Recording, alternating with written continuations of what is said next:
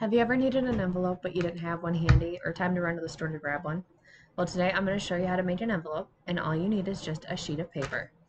The fun thing about making your own envelopes is that you can use any kind of paper that you want.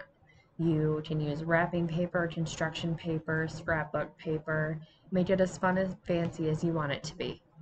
Today I am just going to be using a plain white sheet of paper, like this one.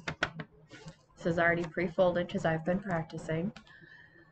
And we are going to go through the few steps that it takes to make the envelope. It only takes a couple minutes and it's quick, easy, and you'll be done in no time. So let's get started. So first we're going to have our sheet of paper and you're going to need to make an X in the middle of it with paper. So you're going to take it and you're going to fold it in a triangle like so and just press down a little bit in the center so that we have an indent. Then you're going to do the same thing on this side. So you have an indent in the middle. Then you are going to take one edge of it and you're going to fold a triangle into that center piece.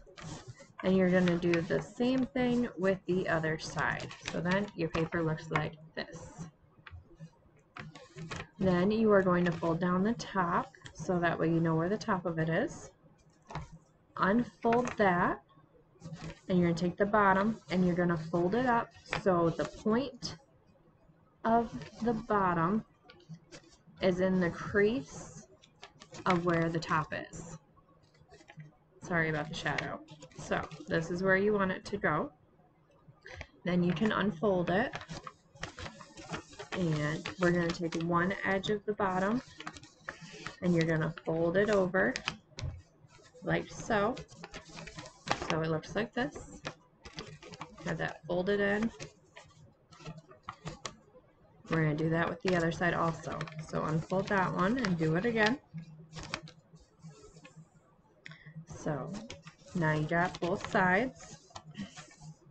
From here you're going to fold in those pieces again, starting at the edge, but you want this end piece out and you need to try to make it fold down so it looks like this.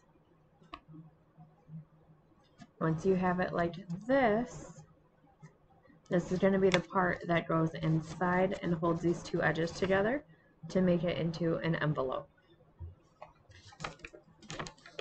So we're going to fold that up and then you're going to take this edge, you're going to tuck them in.